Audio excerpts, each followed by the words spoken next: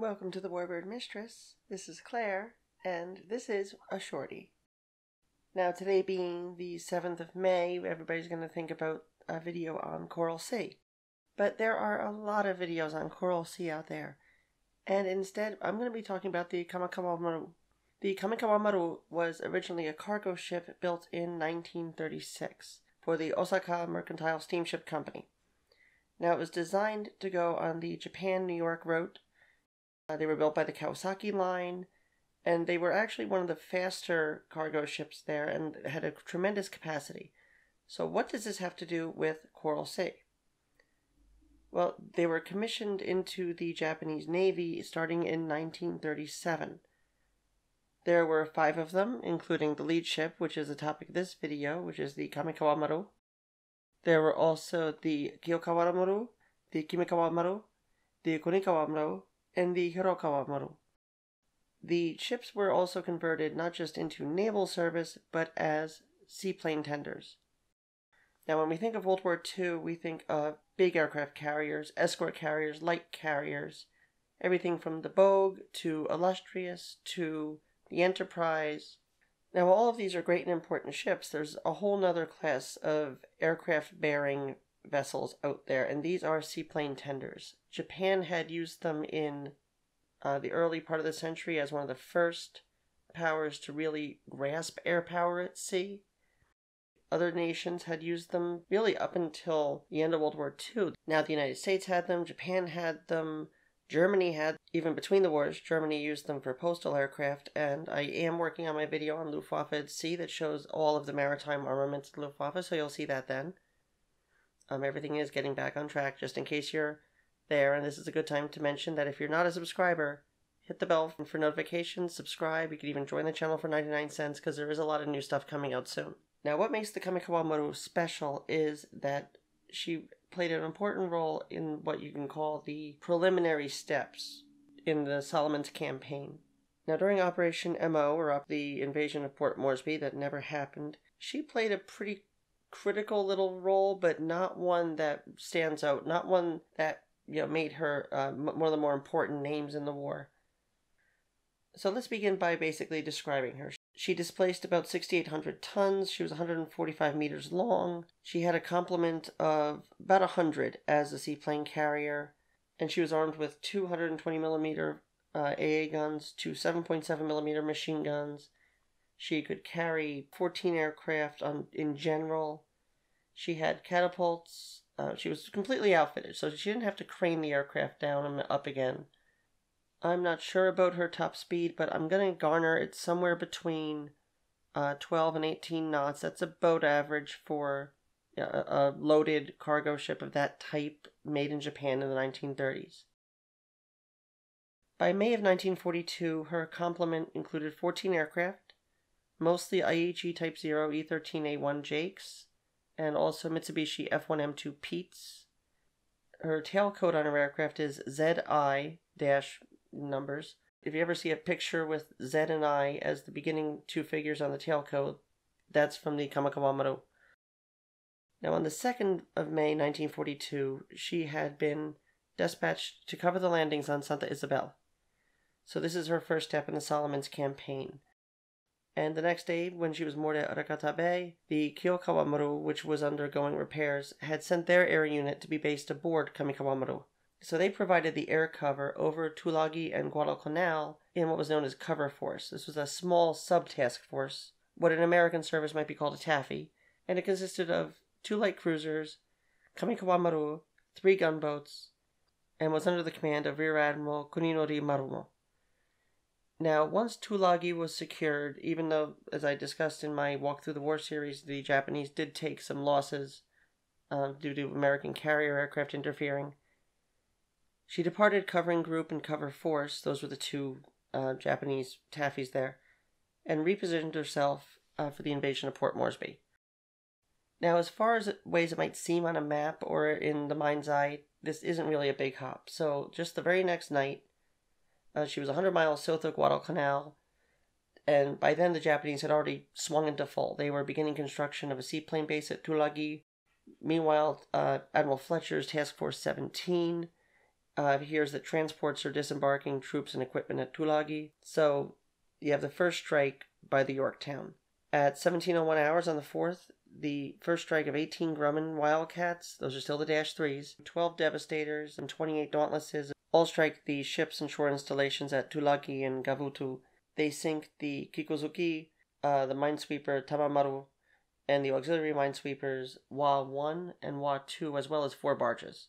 The damage is done to the Yuzuki, uh, the destroyer, the mine layer Okinoshima, and the transports Azumasan Maru and Kozui Maru, all for just three planes. So even though they're providing air cover, they don't really have the fighter air cover that they need. The Rufe was not really an aircraft that was sent on these seaplane tenders, as far as I could tell, at all. But if they did, then it's an exception that didn't make it to the books.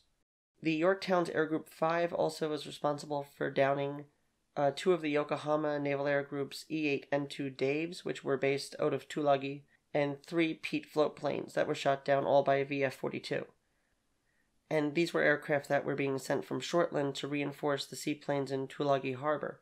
So the Japanese would do this. They'd establish little seaplane bases at all these little islands, and they'd have recon, anti sub, and even fighter patrol duties. The Pete itself was used as a fighter patrol aircraft at times, and it was actually very capable of doing it, although the Rufe and the Rex would be their dedicated float plane fighters. So after that busy day, for all this, the Yorktown loses two Wildcats and a TBD.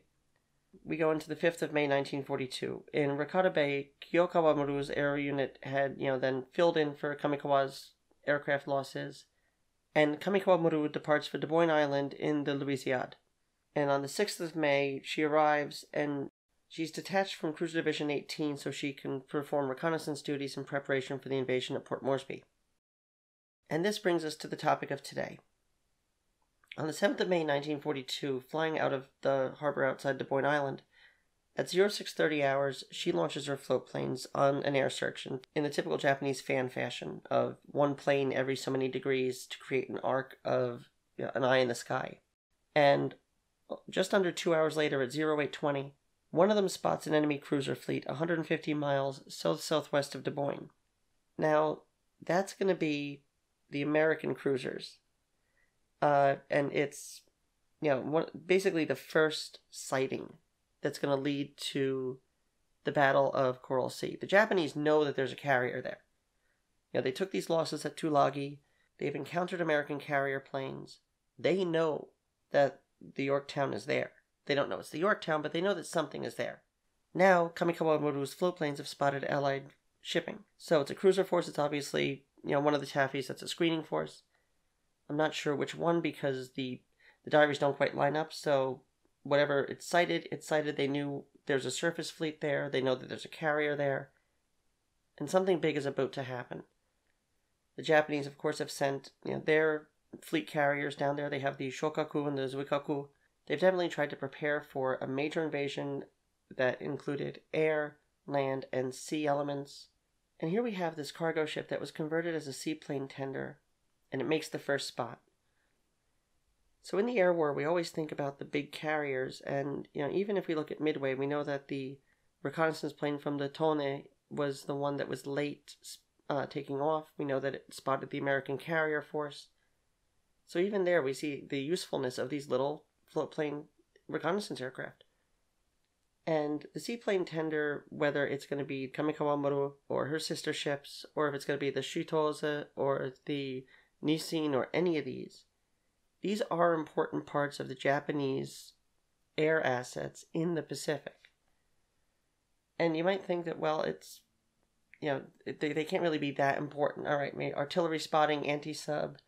Um, ironically, Kamikawamaru was torpedoed by a submarine, the Wahoo.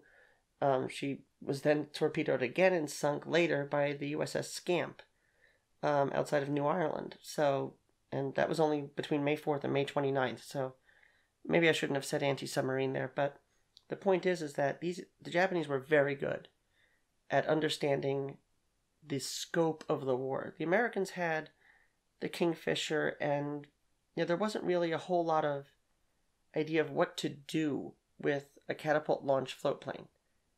But on the Japanese side, they had these little harbor units, they had these adapted cargo ships that could launch, you know, 14 aircraft is not a small complement. I mean, some, you have light carriers that can barely put up that complement in the Japanese fleet.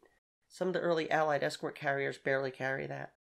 And the Pete, the Dave, the Rufe, the Rex, these these aren't you know jokes. You, you think of a Zero having this giant float on the bottom, but it was actually a very capable fighter, especially in the early years of the war.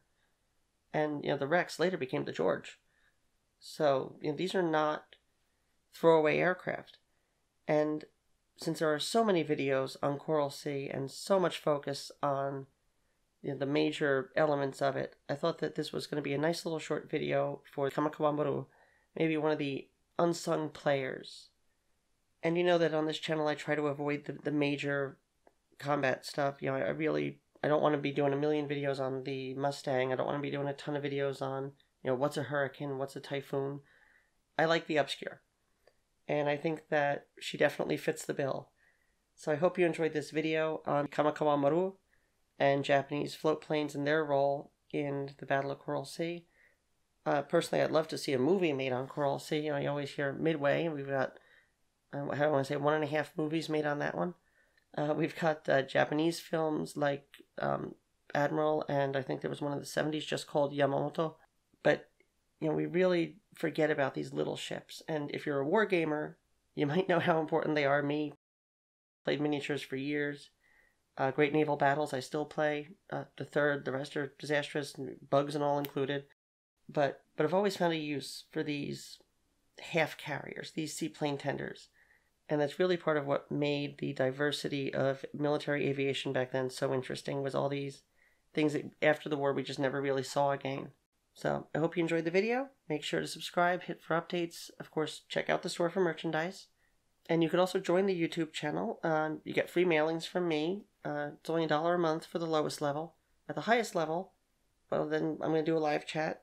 Now I have one member that meets that uh, level right now, but when it gets to be a few, it'll be definitely interesting. And of course, check us out on Facebook. But until the next time, this is Claire, and I am the Warbird Mistress. Take care.